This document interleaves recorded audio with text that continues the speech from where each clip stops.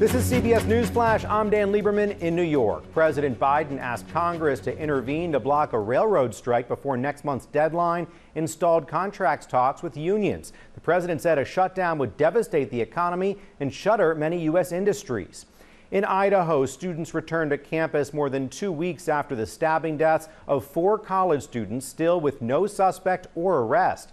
The university president said he understands some students may not want to return until a suspect is in custody. The Senate is expected to vote on same sex marriage legislation later today. Senator Chuck Schumer announced he had reached an agreement with Republicans to hold a final passage vote that's expected to pass with bipartisan support. The bill will then go to the House. For more, download the CBS News app on your cell phone or connected TV. I'm Dan Lieberman, CBS News, New York.